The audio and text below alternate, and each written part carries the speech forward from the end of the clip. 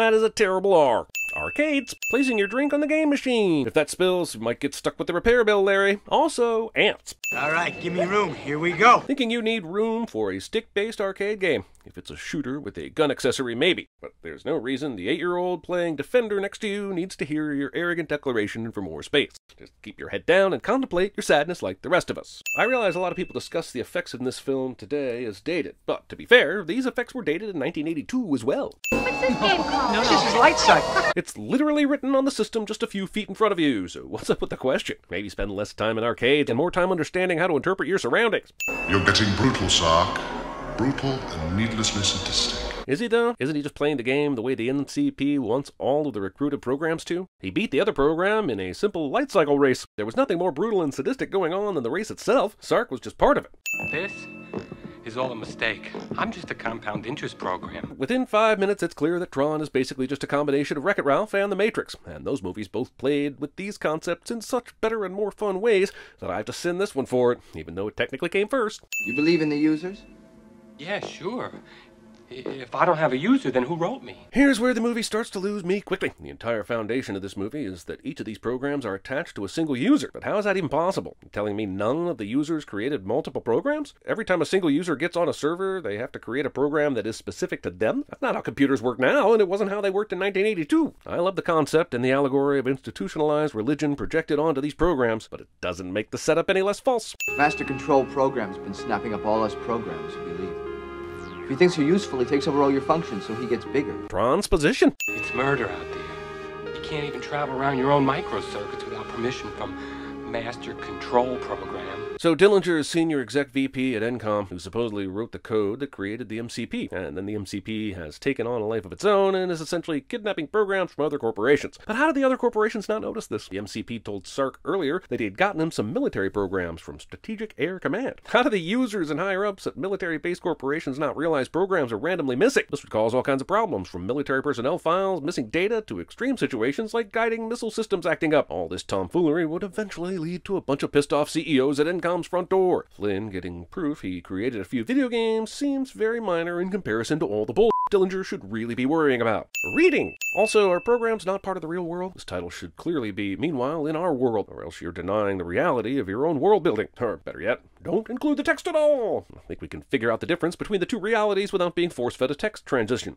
Clu, we don't have much time left to find that file. This is top priority. Yes, sir, I know, sir. Is Flynn talking directly to the Clu program? How does that work? And even if we're supposed to think he's typing instructions out, what program would understand we don't have much time to find that file? And if he is typing, how is Clu answering him? Thank you, sir, but I'm not sure No the... buts, Clu. That's for users. Seriously, what the f is going on here? If Flynn was able to create a program he can interact with on this kind of level, what the f do a few stolen video game codes matter? Sell this AI program instead. Now, you're the best program that's ever been written. Vanity. There are so many things about this movie's interpretation of the data world that make no sense. Programming by slowly typing out English sentence commands is probably the most egregious, especially considering all the action we see in the computer world is happening so quickly. There's too many of them.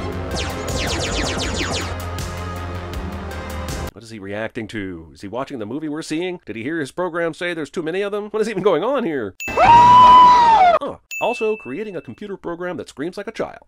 No!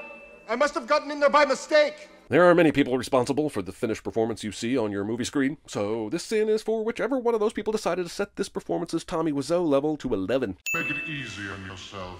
Who's your user? I know Flynn got in the system undetected on a stolen password, but the MCP would have access to photo databases. Clu looks identical to Flynn. Forget it, Mr. High and Mighty Master Control! You are making me talk! And Master Control just believes him and eliminates him? I mean, maybe the program would have stayed silent, or maybe you could have cracked him. So why would you destroy him this quickly and leave yourself without a clue? These helicopter shots are stunning. They're simple, evocative, and beautiful. I know this movie was trying to play with technology that wasn't quite ready yet, but there's some visuals throughout that deserve a sin-off anyway. Good evening, Mr. Dillinger. Thank you, Peter. You can go now. What was Peter doing? Guarding the window? Master is the password for access to Master Control. Was 123456 or password not available? Also, putting a period on your password. Everyone knows if your password needs a special character, you go with an exclamation point, because that is powerful. Hello, Mr. Dillinger. Thanks for coming back early. How was Dillinger even contacted to come back early? This is well before cell phones and texting, and regardless, who did the MCP contact to get a hold of Dillinger? Cute. End of line.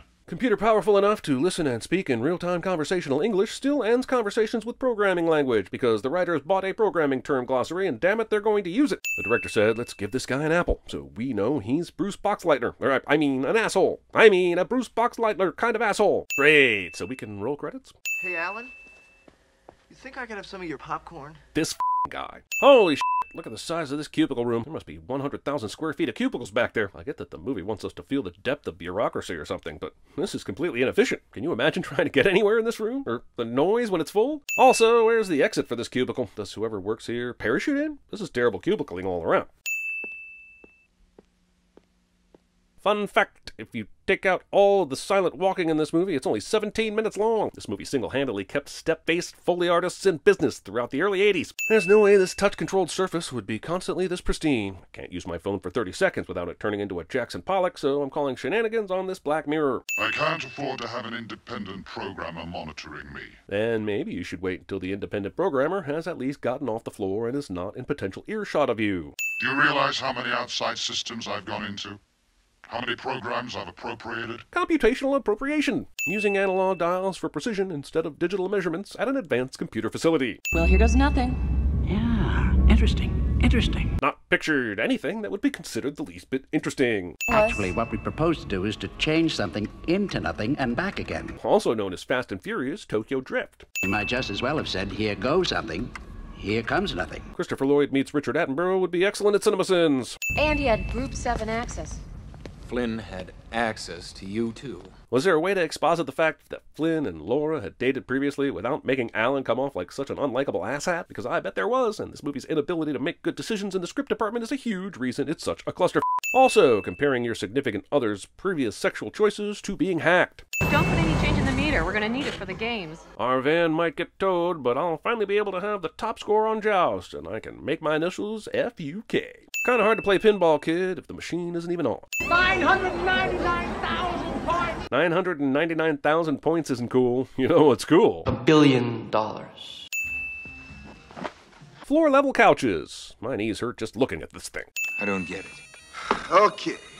Sherman, set the Wayback Machine for three years ago. And the exposition machine to full throttle. He's so bright, as a matter of fact, that he starts going in at night, sets up his own private memory file, and begins writing a program. Look, Dillinger is 100% in the wrong and a total asshole, but Flynn knows better than to work on this using company property. If Flynn wants to start his own enterprise that could potentially be in competition with the company he's working for, he probably doesn't want to give Encom any shot at using his hard work for their own purposes. I still don't understand why you want to break into the system.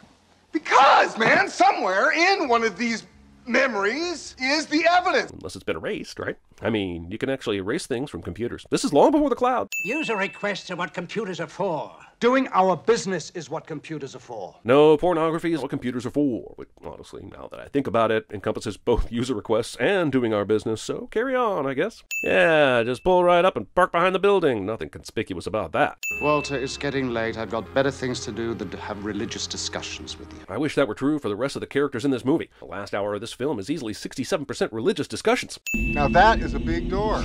Seriously. Although, to be fair, I don't know why Alan is concerned about someone hearing Flynn. He should be more concerned about the cameras Dillinger has access to, but he isn't. I guess it doesn't matter because the cameras conveniently don't pick up any of their activity. I don't understand how these three don't get caught before the MCP has a chance to even pull Flynn into the computer. Also, is anyone going to close that giant door? Are you trying to be suspicious? Let in the wildlife? That room is going to end up with more bugs in it than Windows 11. I'm not sure why they need to bother hacking into computer. Alan has the summoning words for the Book of the Dead plastered on his cubicle. They could get some deadites up in here and do whatever the hell they want. And yeah, yeah, I know those words originated in the sci-fi classic Escape from Witch Mountain. Don't spill anything. What is he going to spill? Is he planning on making a Starbucks run? What a stupid, condescending thing to say. You shouldn't have come back, Flynn. So, Master Control can just have conversations anywhere at once? Where are the speakers, the microphone, the respect for any semblance of intelligent screenwriting? Why would a laser be aimed at a computer terminal? Even if no one is operating the laser, that seems like an unnecessary risk. This CG's on for some time. I said move! Look, if this is about those parking tickets, I can explain everything. If you wake up in a program that gives you a poke, don't panic. Kevin Flynn will tell you a joke. Somebody pushes me, I push back. Because apparently I've been programmed to be recklessly vindictive. Users wrote us. A user even wrote you. No one user wrote me. But Dillinger wrote the code for the MCP, so yes, one user did write them. The MCP is the equivalent of a third grade bully, and that's not a very interesting antagonist. Want me to slow down your power cycles for you? If the MCP is an almighty powerful being, then why does it need Sark or anyone to do its bidding? Why doesn't it just kill whoever it wants to kill and move on? I get that it probably has weaknesses and all that jazz, but the movie never explains that very well. Video Game Unit 18, in here, program. I understand Star Wars is a huge influence on just about every science fiction film from the early 80s, and it's hard to hide that, but you could try harder than just having the guards sound exactly like stormtroopers. And as we find out later, they shoot about as well as them too. Really think the users are still there? But if there are games, there have to be users, right? We see at the beginning of the film that a random program is put in to go up against Sark when the user puts a quarter in the video game. I guess it's possible that the belief system of these programs doesn't compute that rationale, but then I have to ask how are programs able to believe anything unless a user sets a parameter of beliefs into their coding? I like this movie goes both too far with its ideals and not far enough. You had the Matrix Lisberger and you it up. Also, if the user is controlling the program in the game, then what is the point of having the program trained? They will only be as good as the user playing the game is. And look, we can argue all day that the movie is saying something different, but I take you back to the beginning with the quarter in the machine and what took place after that. The movie has made no mention of anything else different since. So, even if nothing else, the movie gets another sin for being confusing as hell. Continue to profess a belief in the users will receive the standard, substandard training. Oh, just substandard training then. It's a pretty neat twist Ram is showing Flynn with the disc and all, but I'm really more curious how he managed to make those gloves appear on his hands. Let him fight one of his own kind. That's racist. Also, what does that statement even mean? Flynn is a user. There are no other users available for him to fight. No! No. I want him in the games until he dies playing. You know, for reasons. This is a digital space, right? So why would this break a physical hole into the wall of the program? The hell is even going on here? I'm getting out of here right now, and you guys are invited. How did he even know it was an exit? How deep does that shattered wall go? I haven't seen an unexpected crack that large since my cousin Roger forgot to wear a belt and lost his keys under the couch. Send out every game tank in the grid. Is he talking to Pac-Man? What even are these roads they're traveling on? Seems pretty convenient these pathways are here and wide enough for them to escape on. I'm guessing a computer landscape would be pretty vast, but that doesn't make this any less convenient or sinful. I'll be lucky if the MCP doesn't blast me into a dead zone. I mean, you're still a year away from David Cronenberg creating the Dead Zone, so you're probably safe for now. Oh, you forget how good the power feels. Till you get to a pure source. This scene is a direct metaphor for the creators of this movie's cocaine breaks, isn't it? Does this mean that Flynn has to take in power the same way all the other programs do? Because that would mean that the MCP didn't only bring him into this universe, but actually turned him into a program. How would he survive that? What happened to all his internal organs and things? How would he survive being constructed back into a user at the end of the movie? Why is Flynn? Thank you. Drinking after Ram. No sign of life. Looks like we got him. Yep, no need to investigate. Programs are all about the assumptions. Those tanks won't find us here. Why not exactly? None of those areas look tank proof. You see this? You shouldn't be able to do that. To be clear, movie is saying Flynn cannot do an unspecified thing that he shouldn't be able to do because he's doing it, and also then knows exactly what he's doing in a way that moves the story forward with as little explanation as possible. In other words, some This is just like the old arcade grips. Conveniently. Flynn? Help Tron? We're over 56 minutes in, so I'm not sure the movie can be helped at this point, but I'm sure Jeff Bridges will at least give it his best try. I would like to say this death scene is moving, but I honestly forgot the character's name was Ram. Damn, recognizer. Which you should have no way of knowing how to pilot, and yet you are, and haven't crashed yet, so consider that a win, Flynn. Limited 4 and 8 are missing. No, I... Tron. Ah. Ah, f you, movie, and the light cycle you rode in on. This is where Tron said he was going. Talking to yourself for expositional purposes. No one in front of them hears this. I believe this. I've been saying this under my breath the whole movie, but it still keeps going. I think the guard saw me. How is it possible to get through any of this programming secretly? Doesn't the MCP have control over all of it? Ah, come on, movie. You've got Barnard f***ing Hughes in your movie, and when he gets his program revealed, he's whatever this penile monstrosity is supposed to be. Not cool, movie. Not cool. I've come to communicate with my user. How does that work exactly? Alan does just happen to be at the computer right now, but how would Tron be aware of this? Bring in the logic probe. Something that was never said once during the writing of this movie still somehow makes it into the script. When I was 12, I was convinced that these were boobs of a giant blue woman, and this was her nipple. It was a dark time before the internet, kids. A dark time indeed. I'd say this works if I had any idea what any of this even was. I'm gonna sin it either way, but I'll be honest, I have the slightest idea what's going on since about minute 37. What? This thing, this thing, this thing. Excitement? I hate to disappoint you, pal, but most of the time that's the way it is for users, too. Stranger. Agree and agree. Can we skip and then skip? So, nice looking ship you got here. Not ending this sentence with, it'd be a shame if something happened to it. Creating a junction. As one does, of course. I haven't decided if Tron is a short film that used extended tech demos to get to feature length, or if it's a long tech demo that threw in some plot to call itself a movie. But I'm leaning towards I don't give a f. Just end it already. I'd give all the sins back if when the discount face of Bo stopped spinning, he blew digital chunks. Why do the programs have skeletons? I have no idea why this disc throw is the one that takes Sark down and the other disc throws did not, but at this point, whatever. Making out with the computer program. Yay! The Valley of Orange Webbing is restored, and the red is bluing, and the silver dildos have restored their red rings, and the floating balls of the southern plains will once again pinken. Oh, glorious day.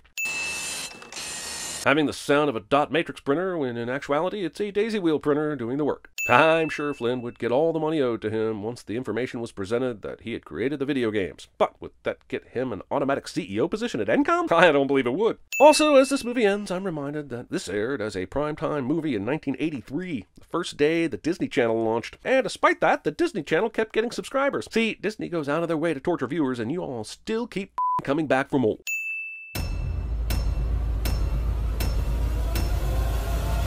Your spine is more twisted than Sinbad's take on marriage.